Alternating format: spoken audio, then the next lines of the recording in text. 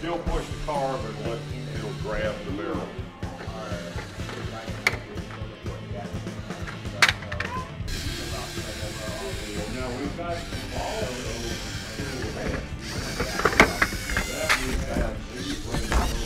Camp Launch is truly, truly an amazing experience for the students that we serve. Um, it's a program that um, I began working with back in the January of 2013, and it's basically a camp geared towards gifted students. Um, we're teaching these students STEM-based um, courses, but also courses in personal development as well as writing. So from here to here, you're perfect, so only make changes here, okay?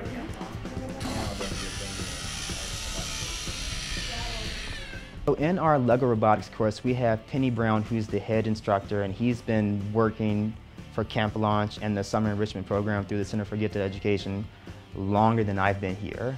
And he has designed challenges for the students to complete. So after they learn about robots and what is a robot and what are the different things that robots can do in the medical field and the car industry, there are robots everywhere. After the students learn about robots in general, they start learning how to construct um, their robots out of Legos. After that, they learn how to complete several different challenges every day with their robots. You know, with our students, they have a certain drive and a certain motivation about them that, you know, when they have a challenge, they want to complete that challenge.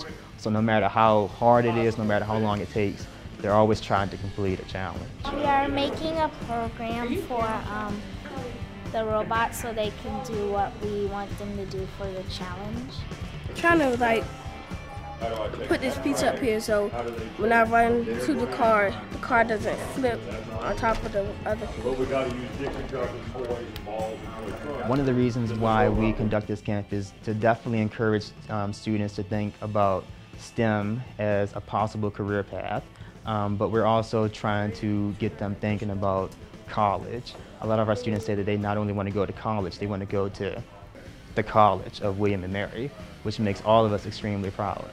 And that's something that we like to promote, you know, here at Camp Launch. Like, not only thinking about the now, because they're seventh and eighth graders now, but what can I do after Camp Launch? What can I do as I continue to go through middle school, high school, and possibly college as well? Just go file new,